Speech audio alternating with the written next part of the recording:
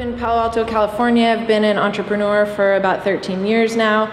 Uh, my partners have been entrepreneurs for even longer than me. That makes them older than me. Um, Eyal here, who you guys have met, is one of the uh, pioneers of the early consumer internet. Um, founded a social network in 1998 and a video sharing site uh, just before YouTube.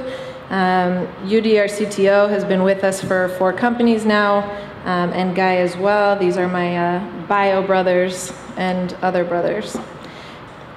Um, I'm going to walk us through uh, very quickly some stuff that's pretty intuitive to us all, if not from before, then definitely from this weekend, um, and why we got so excited about blockchain and about bringing local currencies to the blockchain.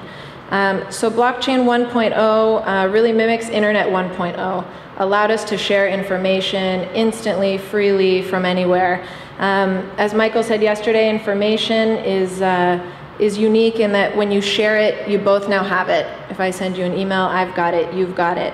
Um, the value stored in money is quite different, right? When I give it to you, I no longer have it, you have it. Um, and this is why we haven't seen true money transfer on the public internet until blockchain. It was very hard to secure uh, these types of transactions and ensure that money couldn't be duplicated, deleted, uh, or changed.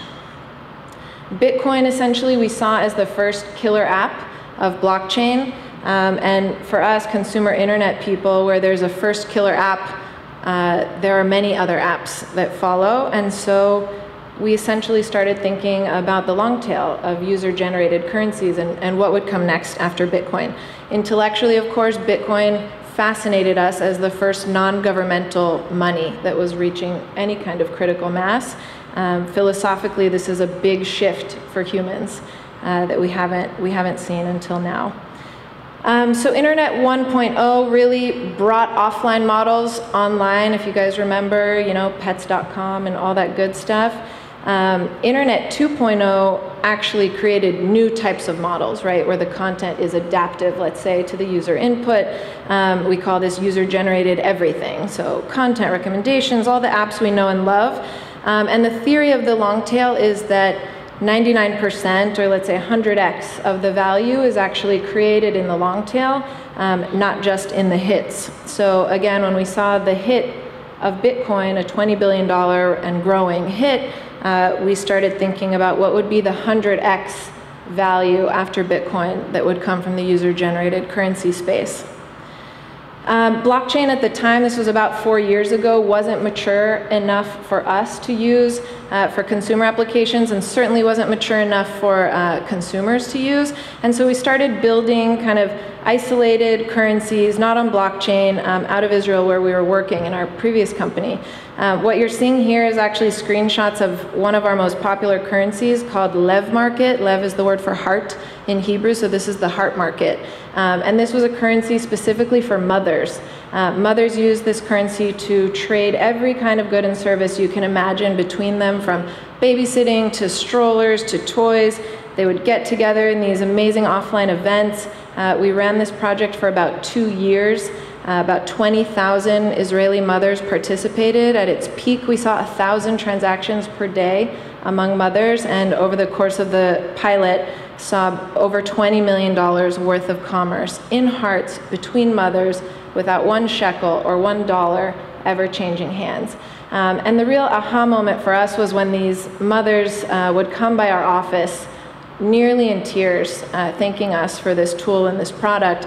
And they would tell us things like, you know, before I had hearts, I didn't have enough money for any of the any of the things that I want my children to have: toys, after-school activities, good care. Um, all my shekels were accounted for to pay rent, to pay gas, to pay taxes, to pay insurance, um, and I had nothing left over for kind of the luxuries of life, like toys for my children.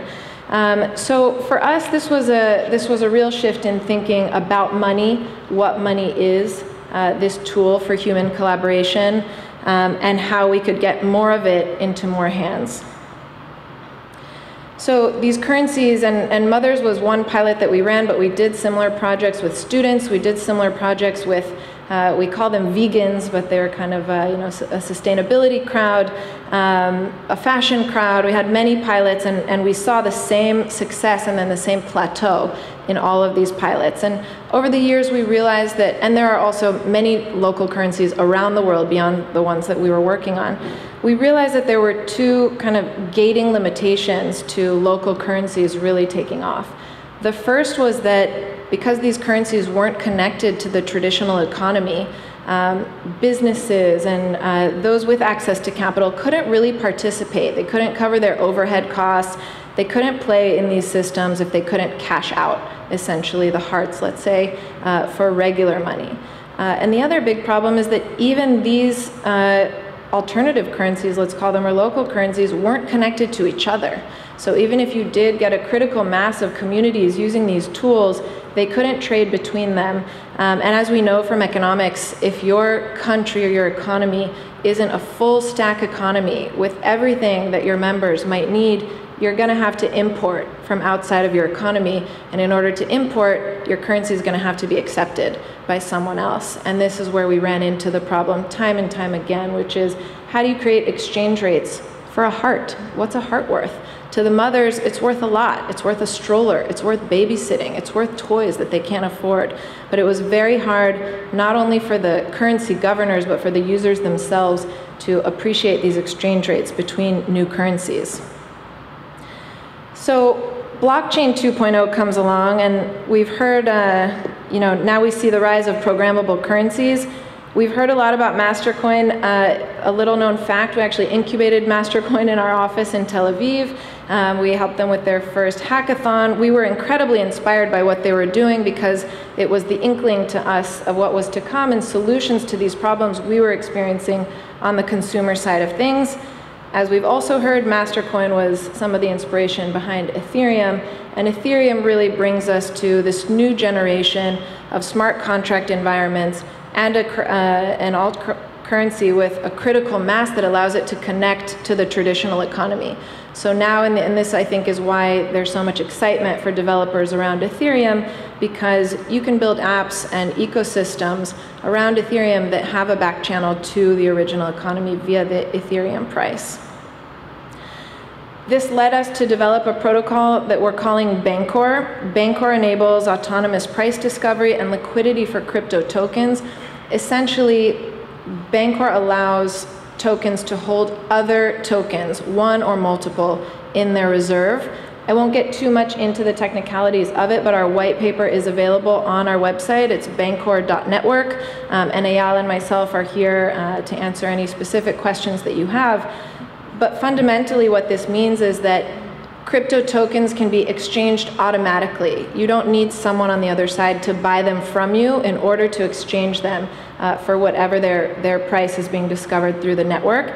This is extremely important for small cap currencies. So if you think about a local currency, there isn't fundamentally a good reason for the uh, entire global economy to want to buy these local currencies. The local currency is meant to function well inside of the community, um, and so this kind of this gating uh, principle where you need your currency to be either widely adopted, very well known, or high volume of trade in order for it to be listed on exchanges and exchangeable with other currencies is really counterintuitive to what a local currency is meant to do, which is uh, create trade and collaboration within a specific group of people.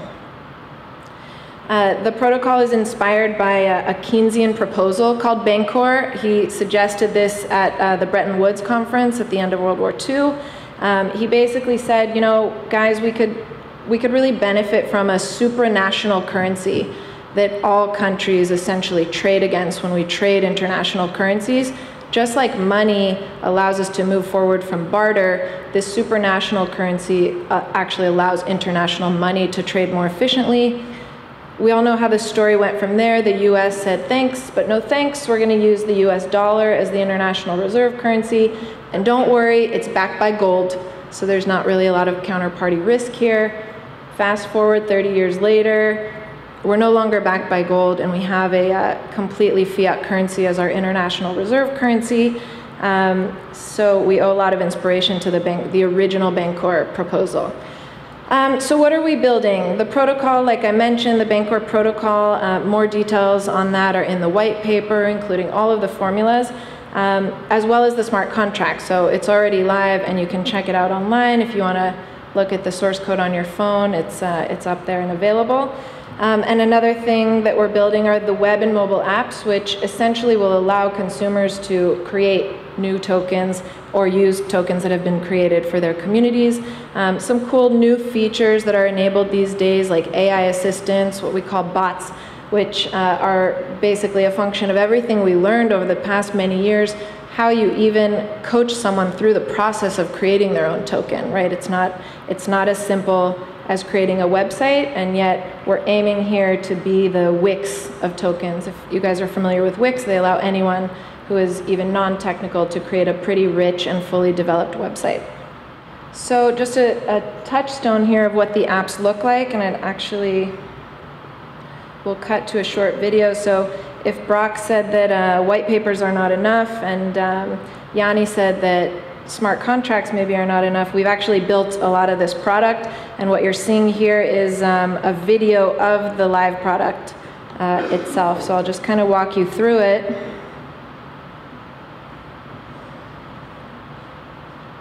So these are a variety of communities with tokens that you might either be a part of or discover through the system. Every token, is, as you're familiar with from social networks and other, uh, other sites, has got a location, some information, an admin that you can get in touch with, some about information, of course an icon and a cover photo. Um, you can dig more deeply into the token's history, how it's been traded, uh, when it was launched, how it was funded, uh, who's holding it, who's administering it, the timeline of the token.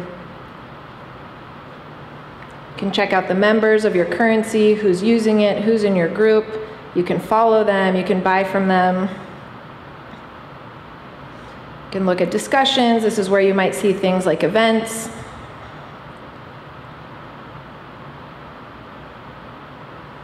Of course, your profile, which brings you into your wallet, merchants that you might be following, tokens that you might be following, your wallet address, of course, for all your commerce,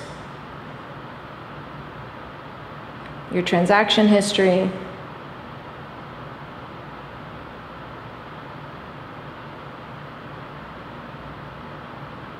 Worth mentioning again that this is actually the live product. Um, so very easy to create either a new member, a new profile, a new token, or a new merchant, which is essentially a storefront.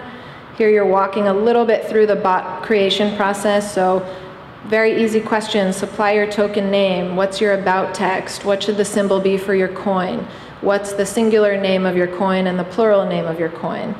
Um, so very, very simple setup uh, for a very uh, mainstream consumer.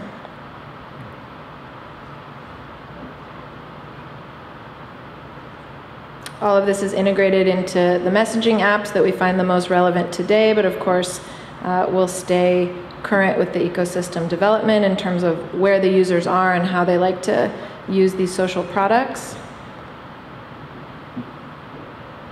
And at the end of this process, which kind of feels like you're filling out a form almost, you've actually created a, a fully functional cryptocurrency um, it's an ERC20 at the moment, but as Eyal and some of the other folks on the panel were talking about later, this is truly a cross-blockchain solution.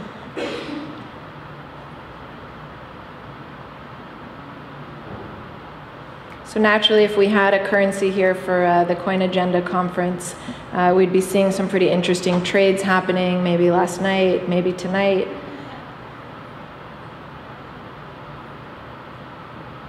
Great, so that's the demo.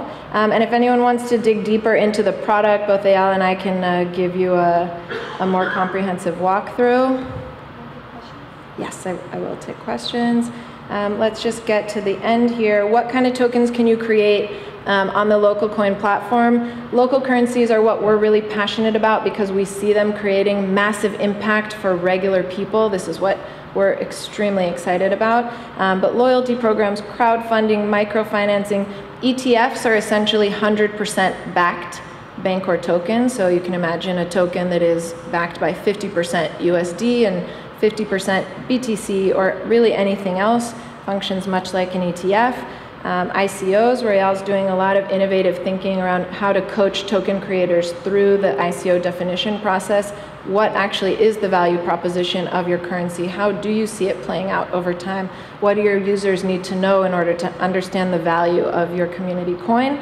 And of course, future innovation. I've heard things here this weekend, and we all hear these, um, these new models coming up. A coin that represents the future harvest of a square footage of plants a coin that represents a watt of energy um, in a specific facility. So the idea here really is to open up the long tail and allow innovation to come uh, from the crowd.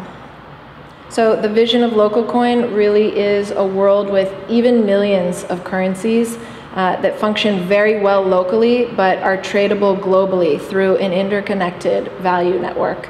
Um, this fulfills the promise of blockchain of helping us shift society from a pyramid like structure, maybe a few pyramids with limited room at the tops, to a network with more access to opportunity. Great, thanks.